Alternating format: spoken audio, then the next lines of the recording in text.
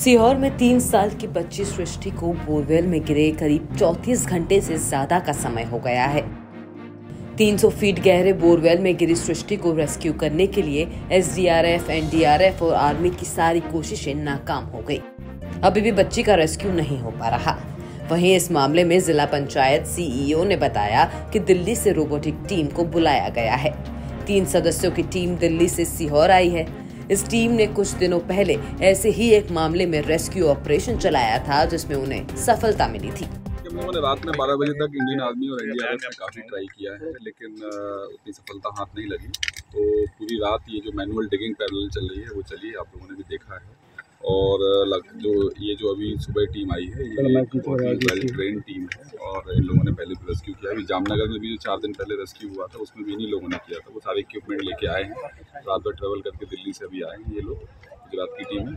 और इन्होंने अच्छा इक्विपमेंट बनाया हुआ है। प्रिलिमिनरी डेटा और सर्वे हो चुका है। वो डेटा प्रोसेस हो रहा है। उसके आधार पर कौन सा अटैचमेंट कौन सा फिक्चर लगेगा डिसाइड करके सर सर अगर हम बात करें तो सबसे बड़ा परेशानी का कारण तो जो रॉकी स्ट्रेटा है बगल में वो सबसे बड़ा परेशानी का कारण है क्योंकि उसकी वजह से हम लोग अभी वो नॉर्मली उस डीप डेप्थ पे पहुँच नहीं पाए हैं। यदि रॉकी स्ट्रेटा नहीं होता तो हम लोग अभी तक पहुँच के और उस लेवल पे पहुँच गए होते। अभी सर और कितना समय लगता है सर क्या उम्मीद कितना समय? रेस्क्यू रेस्क्यू में। ये जो टीम आई है इससे हमें उम्मीद है पूरी कि हम लोग इसमें सर एक सर और भी टीम बुलाई जा रही है वो, वो टीम भी आ रही है ऑन द वे क्या आर्मी की टुकड़ी ही है क्या? नहीं नहीं वो आर्मी की नहीं है वो एक एक्सपर्ट हैं जो पहले जिन्होंने ये काम किया हुआ है कई बच्चों को रेस्क्यू किया हुआ है निजी व्यक्ति कब तक आएँगे सर? वो निकल गए हैं वहाँ से ऑन द वे हैं तो शाम तक यार ये अभी गड्ढे की खुदाई कितनी हो चुकी सर वो लगभग बयालीस फीट पे आ गया है क्या बच्ची पानी तक पहुँच गई क्या? पानी के टच में ऐसी कुछ जानकारी आई क्या?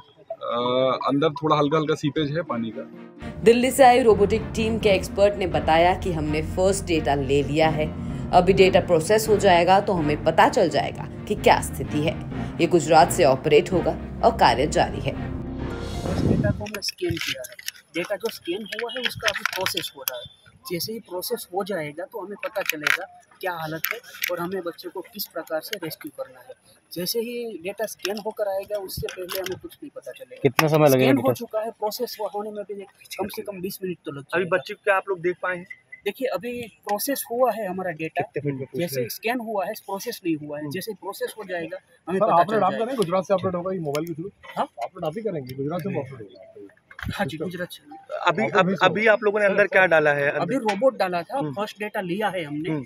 डेटा लेकर अभी उसका स्कैनिंग किया है अभी उसका प्रोसेसिंग हो रहा है। हम्म। जैसे ही प्रोसेसिंग हो जाएगा तो हमें पता चल जाएगा क्या हालत है और अगर हमें उसको रेस्क्यू करना है तो हमें किस प्रकार से रेस्क्यू करना है? कौन सी टेक्निक से रेस्क्यू करना है? ठीक ठीक कितना लगेगा लगभग? देखिए डेटा आने में बीस मिनट का टाइम लग जाएगा। हाँ। उसके बाद हम तय करेंगे कि किस प्रकार से रोबोटिक आर्म्स अंदर डालने हैं और उसको वही सृष्टि अभी 120 फीट की गहराई में फंसी हुई है जबकि बोर के पैरेलल अब तक 35 फीट तक की खुदाई हो पाई है।